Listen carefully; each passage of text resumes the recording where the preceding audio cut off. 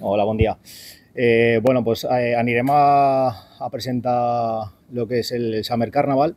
Eh, antes de presentar els actes, sí que volia agrair enormement perquè després de passar el Carnaval no havíem fet de premsa i no havia tingut l'oportunitat.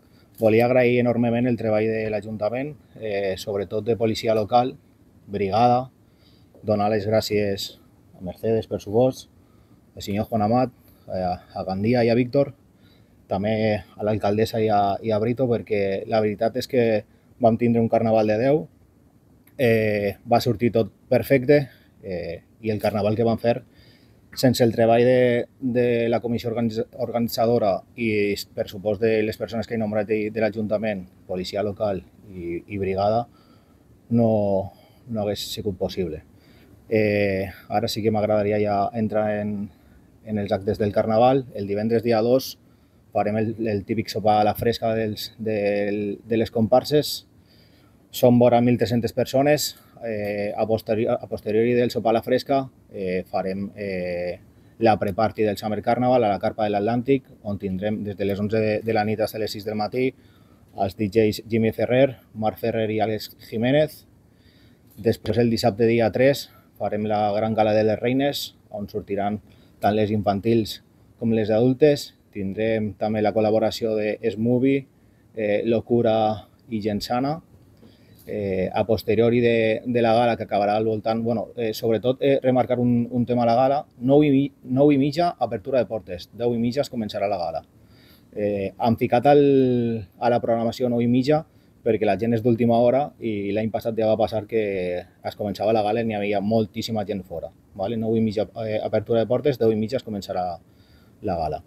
Quan acabe la gala, eh, continuem la festa a la Carpa de l'Atlàntic des de les 12 de la nit fins a les 6 del matí en los DJs Tania Riz, Òscar Blanco i Alfonso TV.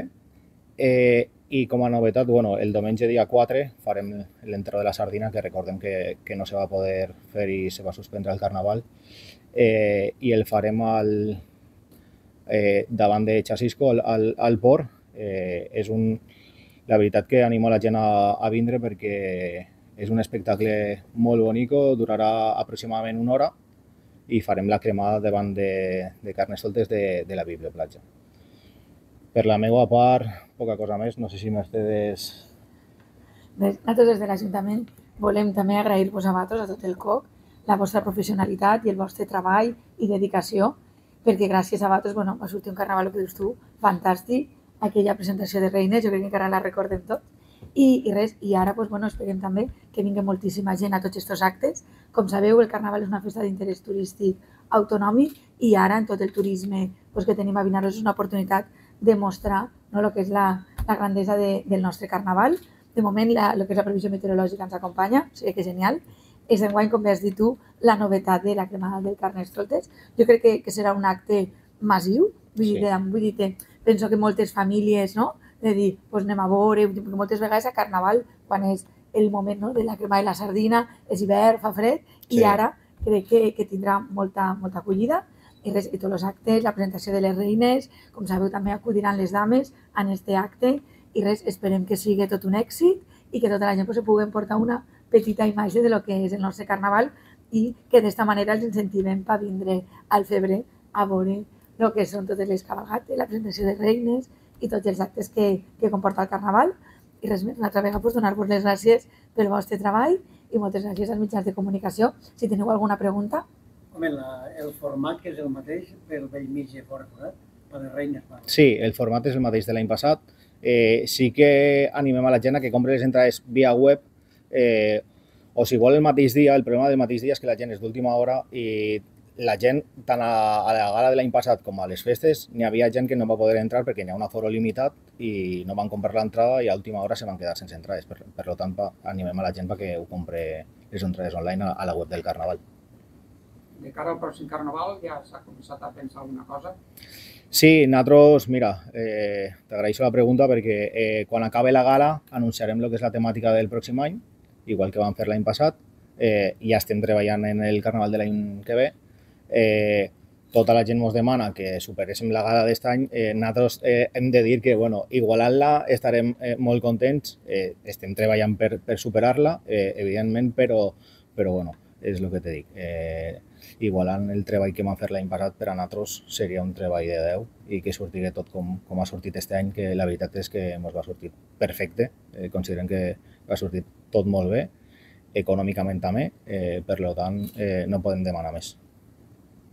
S'ha fet alguna gestió nova respecte al, nom- o sigui, al reconeixement a nivell estatal del Carnaval?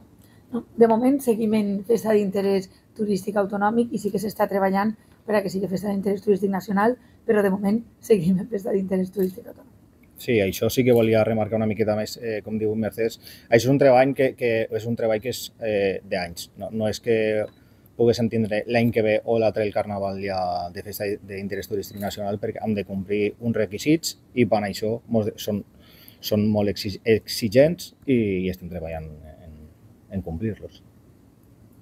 D'altra banda, també es va anunciar el Carnaval, el nostre Carnaval es va anunciar que es faria una, un reportatge, un documental que es veuria per, per Amazon, per Sí. Amazon Prime. En quin estat es troba aquesta producció moment? pues mira, el, el documental s'acabarà de gravar el diumenge. El diumenge ve, venen les càmeres d'Amazon a gravar eh, l'enterro de la sardina perquè com no se va poder acabar al febrer, pues, evidentment eh, venen el diumenge o acabaran de gravar.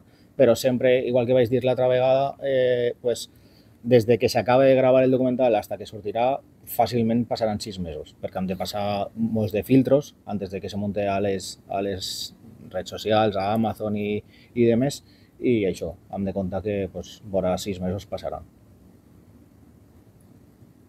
Moltes gràcies a Vale? tots.